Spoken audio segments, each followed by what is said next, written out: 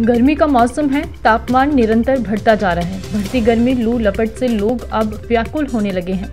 गर्मी से निजात पाने के लिए लोग तमाम उपाय ढूंढ रहे हैं। लगातार पड़ रही गर्मी के कहर से छुटकारा पाने के लिए लोग फलों का जूस, कोल्ड ड्रिंक, लस्सी, गन्ने का रस पीकर गर्मी को मिटा रहे हैं। लेकिन इन पेय पदार्थों के पीने से भी गर्मी पीछा नहीं छोड़ रही। वहीं बाजारों में भी पेय पदार्थों की दुकान है। ठेले इत्यादि सज गए हैं। इन पर लोगों की भीड़ भी देखी जा सकती है। वहीं अगर बात करें पठानकोट की तो पठानकोट में भी आए दिन गर्मी की वजह से लोगों के बीमार होने के केस सामने आ रहे हैं। बीती रात भी एक ऐसा ही केस पठानकोट के सिविल अस्पताल में पहुँचा, जब एक व्यक्ति गर्मी की वजह से बेहोश हो गया, जिसके बाद उसे सिविल अस्पताल में लाया गया एवं उसका इलाज शुरू किया गया। इस संबंधी जानकारी देते हुए मौके पर मौजूद डॉक्टर पुनीत गर्ग से बात की गई तो उन्होंने कहा कि गर्मी ज़्यादा बढ़ने की वजह से लोगों को ऐसी दिक्कतों का सामना करना पड़ रहा है। लेकिन उन्होंने कहा कि ऐसे मौसम में लोगों को अपना ध्यान रखना चाहिए। वे इस मौसम में खाने पीने की वस्तुओं का भी खास ध्यान रखना चाहिए। और क्या कहा डॉक्टर पुनीत गिल ने? गर्मी के बढ़ते प्रकोप से बचाव के लिए आप खुद ही सुनिए। ਪੇਸ਼ੈਂਟ ਐਕਚੁਅਲੀ ਹੋਮਲੈਸ ਹੈਗਾ ਸੀਗਾ ਤੇ ਇਹਨੂੰ ਬੇਸਿਕਲੀ ਹੀਟ ਸਟ੍ਰੋਕ ਹੋਇਆ ਵਾ ਤੇ ਜਿੱਦਾਂ ਕਿ ਸਾਡਾ ਇਸ ਟਾਈਮ ਤੇ ਪੰਜਾਬ ਵੱਲੋਂ ਜਿਹੜੇ ਸਾਡੇ ਮਤਲਬ এনवायरमेंटल ਆਰਗੇਨਾਈਜੇਸ਼ਨਸ ਹੈਗੀਆਂ ਉਹਨਾਂ ਵੱਲੋਂ ਔਰੇਂਜ ਅਲਰਟ ਹੀਟ ਸਟ੍ਰੋਕ ਦਾ ਰਿਸਕ ਬਹੁਤ ਹਾਈ ਹੈਗਾ ਵਾ ਤੇ ਬੇਸਿਕਲੀ ਜਦੋਂ ਵੀ ਤੁਸੀਂ ਧੁੱਪ 'ਚ ਨਿਕਲਣਾ ਆ, ਤੁਸੀਂ ਆਪਣਾ ਸਿਰ ਕਵਰ ਕਰਨਾ ਆ ਤੇ ਟਾਈਮ ਟੂ ਟਾਈਮ ਇਲੈਕਟ੍ਰੋਲਾਈਟਸ ਜ਼ਰੂਰ ਲੈਣੇ ਆ। ਹੀਟ ਸਟ੍ਰੋਕ ਇੱਕ ਸੀਰੀਅਸ ਕੰਡੀਸ਼ਨ ਹੁੰਦੀ ਆ, ਜਿਹਦੇ ਵਿੱਚ ਪੇਸ਼ੈਂਟ ਨੂੰ ਜਿਹੜਾ ਤਾਂ ਬੋਡੀ ਟੈਂਪਰੇਚਰ ਹੁੰਦਾ ਨਾ, ਬਹੁਤ ਹਾਈ ਹੋ ਜਾਂਦਾ ਹੈ ਜਦੋਂ ਇਹ ਪੇਸ਼ੈਂਟ ਸਾਡੇ ਕੋਲ ਆਇਆ ਸੀਗਾ, ਉਦੋਂ ਦਾ blood body temperature 106 degree Fahrenheit heat ਦੇ ਸਮਥਿੰਗ ਸੀਗਾ।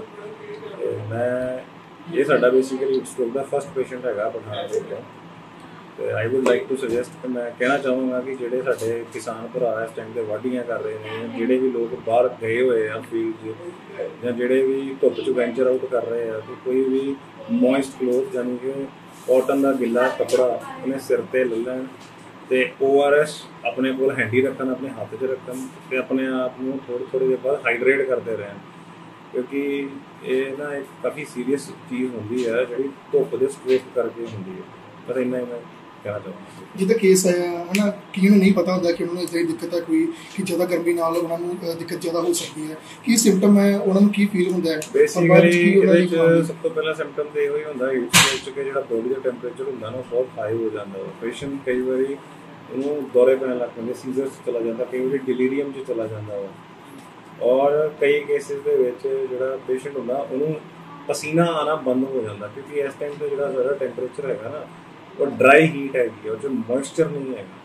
ਕਿਉਂਕਿ ਬੋਡੀ ਦਾ ਜਿਹੜਾ ਕੰਪਨਸੇਟਰੀ ਮੈਕੈਨਿਜ਼ਮ ਹੁੰਦਾ ਵਾ ਕਿ ਸਵੈਟਿੰਗ ਦੇ ਨਾਲ ਜਿਹੜਾ ਪਸੀਨਾ ਬਾਹਰ ਕੱਢ ਲੈਂਦੀ ਹੈ ਬੋਡੀ ਉਹ ਪ੍ਰੋਪਰਲੀ ਨਿਕਲ ਨਹੀਂ ਪਾਉਂਦਾ।